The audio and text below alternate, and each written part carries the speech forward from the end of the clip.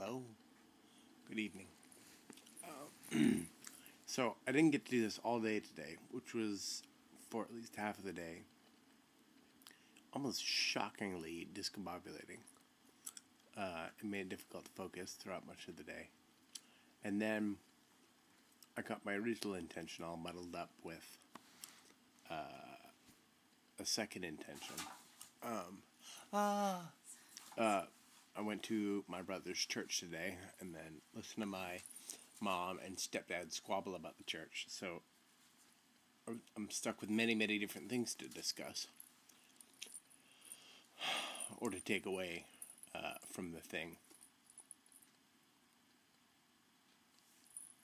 I guess part and parcel of the thing that's probably stuck in my craw the longest is one of the trickier notions of being a faithful person or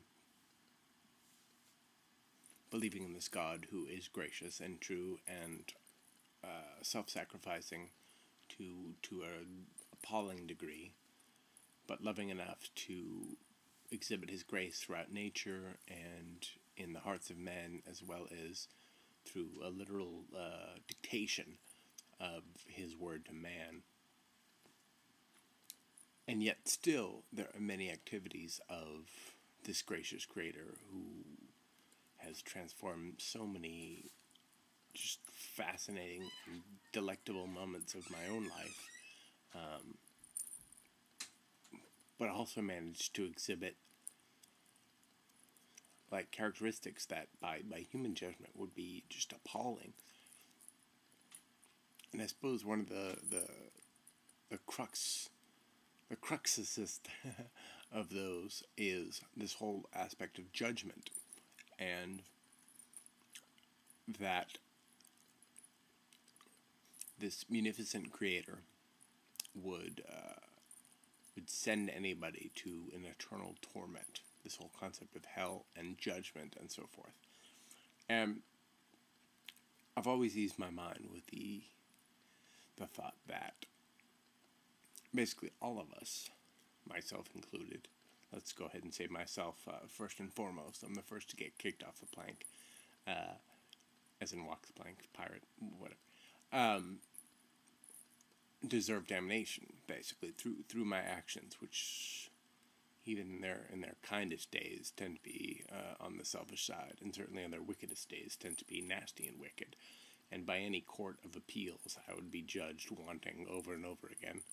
Um, and yet there was this blood sacrifice made by the creator of the universe.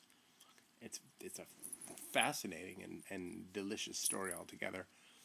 But then why would some be offered and why would some take the offer and why would some walk away from the offer and then what about the people who do their best to you know uh, walk away from their uh, uh, bitter nature and walk towards their better nature and this whole concept of no one comes to the Father but by me. in a way, it's sort of scary and appalling. You know, it seems uh, unjust. Although, as I've said before, if the creator of the universe was completely understandable, and his concept of justice, his her concept of justice was the same as my concept of justice, in a way that's not really all that divine. Ultimately, that's just human. So there's got to be some sort of uh, landscape laid out in which this seems just. And I guess I, I then, based on my belief system, I have to sort of assume then that the most just possibility is then to offer this uh, this unblemished cleansing from that which is uh, distinctly malnourished in our nature, and it's free and it's uh, freely given, and you can do nothing really to earn it other than to go, okay, yes, and turn from your nasty and accept the delicious and walk towards the delicious.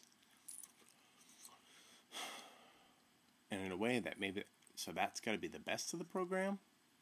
That has to be the best of the program. Freely offered, freely given, freely taken but then free will is still engaged, so then why couldn't people choose destruction? then that, even in and of itself, seems unwise. Because if we're all made in God's image, wouldn't He want to save us all? Wouldn't He love us all? But then He doesn't necessarily. He allows some of us to plummet off into into the darkness, and some of us do not. Some of us He draws back from the edge, or some of us, I guess, randomly turn around, notice the light, and pull back from the edge. And what's the answer? I don't know the answer. I only know the truth that's been revealed to me. The love that I've felt offered from so far outside myself as to make no sense. And the and the miracles that have been offered in my life that have kept me sustained and alive have come through this source. So that I'm like, oh, okay. And then and this is your justice so then, and I, but the, I guess, I guess the gorgeous part is we as human beings don't know. We don't know who is uh, is doomed to to bleakness and blackness, and how depressing is that? And so all we can do is scramble and try to help, try to help everyone, not knowing anyone. I can't read anybody's heart. I can't even read my own heart. So all I have to do is strive and struggle and release all attachment, uh, surrender all, all will and just turn from my nasty and turn towards the will of the Most High and then try to seek out all who need aid spiritual, physical, etc., whatever. Because I don't know. Despite whatever justice, grand, uh, divine justice, I don't quite understand or seems strange to me. That's just how it's going to play out. There's so many aspects of life that just play out and completely inexplicably, completely unjust. So it's not crazy, I guess, to assume that the master of the universe would play out in a in a manner which I wouldn't quite understand. And then my only gig is to just follow and just blind and just abject and delicious gratitude aid all that I can, not knowing who might be helped or who might be aided, who might be saved. But just to pursue that line of, of servanthood and love